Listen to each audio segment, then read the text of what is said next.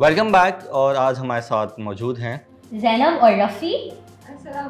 One We're good. How are you?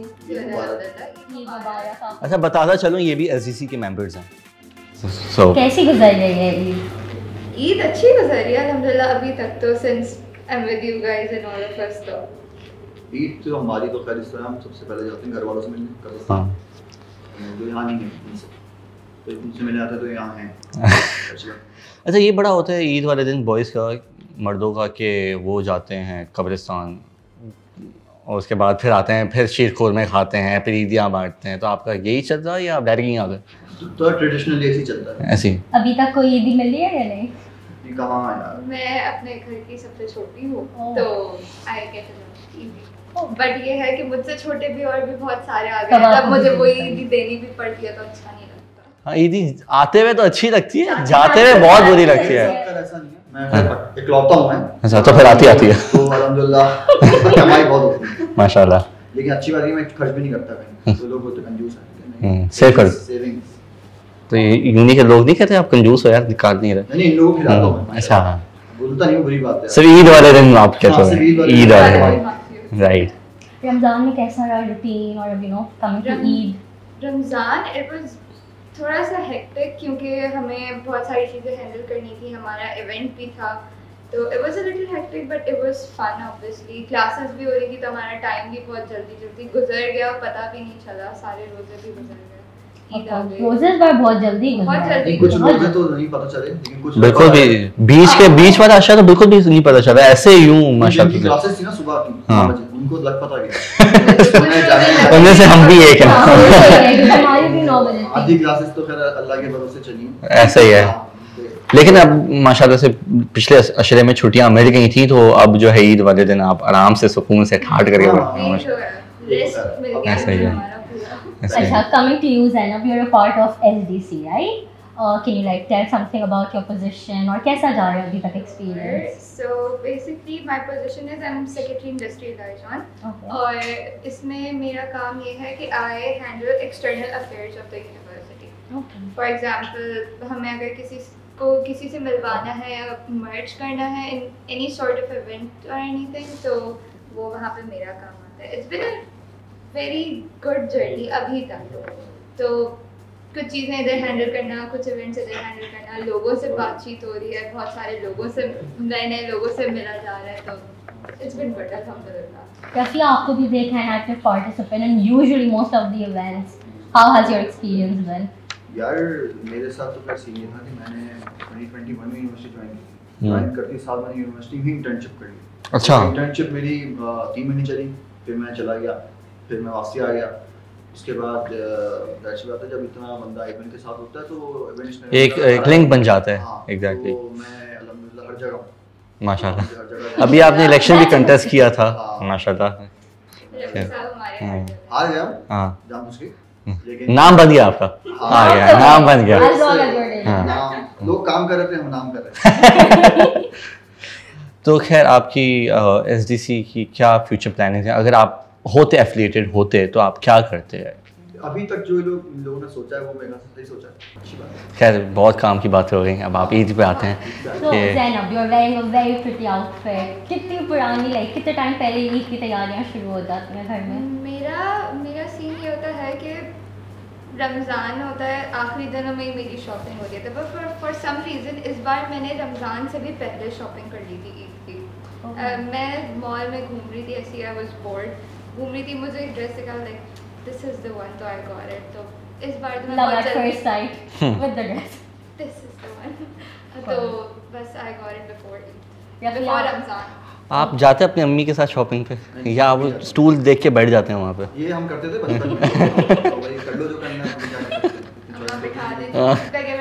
नहीं खुद भी ना भी बिठाए बैठना होता था क्या क्या, क्या करेंगे एग्जैक्टली अम्मा एक ही दुकान पे दस बार जाना हो तो वो दुकानदार पागल हाँ। है। हम लड़कियों के लिए तो वेरी डिफरेंट कलरफुल चूड़ियाँ हाँ। मेहंदी एवरीथिंग हमारे कलर लिमिटेड है ब्लैक ग्रे ब्लू एग्जैक्टली तो एक वही पसंद आता है वो पाँच साल बाद हाँ। पाँच साल बाद फिर आप वाइट पहनोगे फिर ब्लैक पहनोगे यही चल रहा है तो हो जाएगा हाँ। हाँ, ये ऐसा ही है। ही है आप दिल खोल के रेडी हो सकते हो एंड यू नो वैसे ईद का मतलब क्या है आप लोगों के लिए? ईद फॉर मी इज़ सबके जब मतलब सब एक दूसरे से मिलने आते हैं। अच्छा। वैसे इतना बिज़ी सबका स्केड्यूल होता है कि ना हम दोस्त बहुत सारे नहीं मिल पाते ना फैमिली मेंबर से आप सही से मिल पाते हो। तो आप बैठो आप उनके साथ मीठा वगैरह खाते हो। हमारे घर पे मीठे बहुत सारे बनते हैं क्योंकि I belong to a Pathan family तो हम्म। Variety So do I. होती है वैरायटी होती तो क्या बना है आज आपके घर पे? हमारे घर में you name it sheer khurma बनता है हमारे घर में रस मलाई बनती है। शाही टुकड़े वगैरह। शाही टुकड़े बनते हैं और वो भूल गई मैं उसका नाम। या आई थिंक सूजी का हलवा वगैरह सूजी भी का बनता है। और हलवे बहुत सारे बनते हैं हमारे घर पे। तो सब ईद पे आई गेस लास्ट सेगमेंट में भी गेस्ट से यही बात हो रही थी उमर और अफशान से कि ईद की नमाज़ के बाद या सहरी का वक्त जो होता है ईद से पहले तो खाने पीने का बड़ा उस वक्त हो रहा होता है कि पानी पिए खाना खाएँ। तो यही होता है आप लोग के साथ भी है कि क्या सीन है? Exactly. तो हो है हाँ, तो हाँ, टूट तो नहीं जाएगा। होता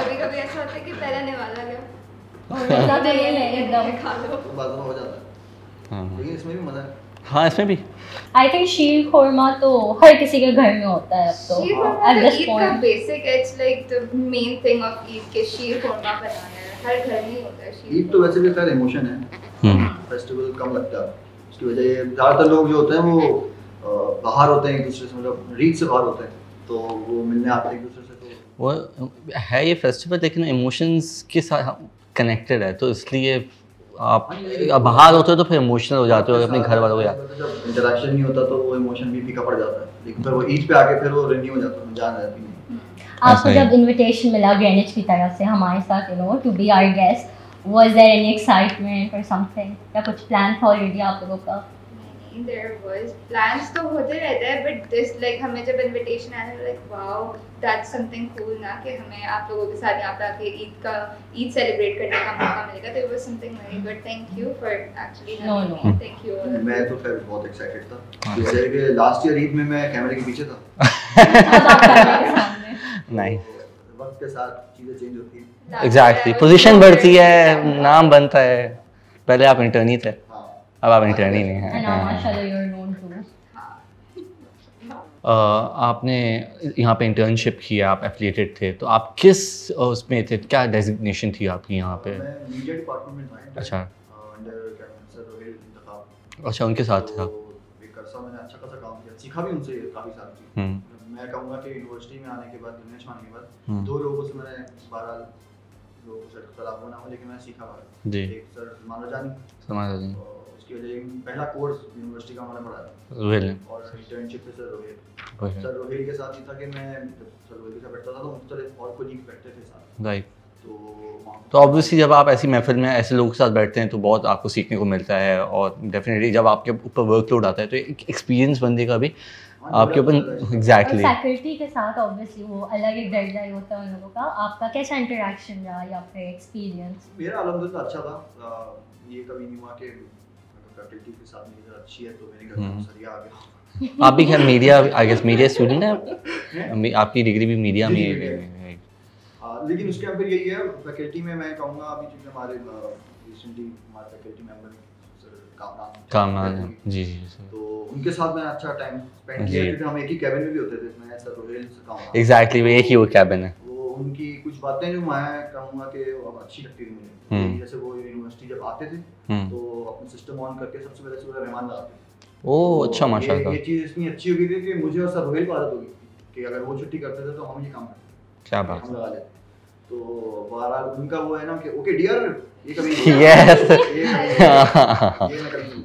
तो उनके साथ ही माशाल्लाह बड़ा मज़ा आया। रफ़ी और हमने सुना आप एडिशनली और भी काम कर रहे हैं ग्राफिक्स वगैरह से रिलेटेड हाँ Can you something about it, internship भी जो की थी वो मीडिया डिपार्टमेंट में ही इसलिए की थी कि मेरा स्कोप स्कोप था वो ज़्यादातर मीडिया साइड पे था ग्राफिक्स की तरफ़ से एनिमेशन की तरफ़ और दो उस वक्त मैं रस्टी था हम्म। यहाँ पे आके मैंने चीज़ें सीखी भी हैं। हम्म। उसके अंदर फिर मुख्तलिफ़ चीज़ें डिज़ाइन करना या तो बारह बार दफ़ा होता था चीज़ें रिजेक्ट हो जाती थी लेकिन हम्म। उसमें से यही होता था कि सीखने को मिलता था बारह तो उसमें कभी हम दिल पर बर्दाश्त नहीं हुए कि भाई हाँ ये क्या हो। गया जैना आप भी मीडिया स्टूडेंट हैं और आप एसजीसी मेंबर भी हैं तो आप क्या समझती हैं आपकी मीडिया की फ़ील्ड आपको एसजीसी में कितना हेल्प कर सकती है मे- मेरी मीडिया की फ़ील्ड बेसिकली मेरी मीडिया मार्केटिंग मेरी है ना, तो दोनों सेक्टर मेरी एसजीसी में मुझे बहुत हेल्प करते हैं क्योंकि अगर कोई इवेंट होना तो आई हम्म। नो कि मुझे मार्केटिंग का वो किस तरीके से डिज़ाइन करना है पूरा अगर मैं किसी को काम दूँ तो मैं